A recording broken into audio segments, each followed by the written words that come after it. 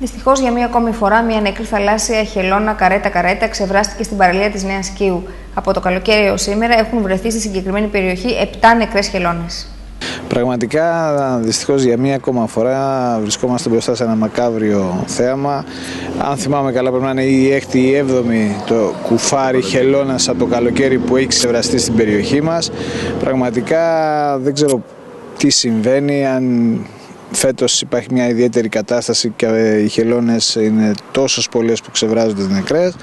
Ε, ε, περνώντας το πρωί από εδώ αντίκρισα αυτό το κουφάρι προφανώς από την θαλασσοταραχή των προηγούμενων ημερών ξεβράστηκε στην παραλία μας.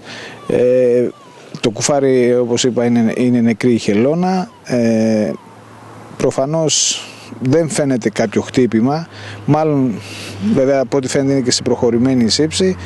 Ε, θεωρώ ότι έμπλεξε πάλι σε κάποια δίχτυα έκανε κάποια ζημιά. Προφανώς όμως πρέπει και οι επαγγελματίες που είναι μέσα στη θάλασσα να σέβονται και αυτά τα ε, ζώα προσπαθώντας και αυτά να ε, διαβιώσουν σε αυτόν τον χώρο.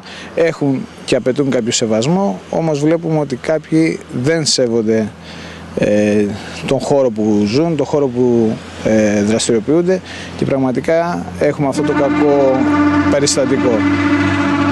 Θεωρώ και κάνω έκκληση όλοι οι επαγγελματίες που βρίσκονται μέσα στη θάλασσα πραγματικά να έχουν μια, ένα σεβασμό προς αυτά τα ζώα για να μπορέσουμε να μην αντικρίσουμε για ακόμα μια φορά κάτι τέτοιο άσχημο και πραγματικά να είναι το τελευταίο περιστατικό που είμαστε ε, που βρίσκουμε στην παραλία μας γιατί πραγματικά αρχίζει και γίνεται πολύ άσχημη κατάσταση.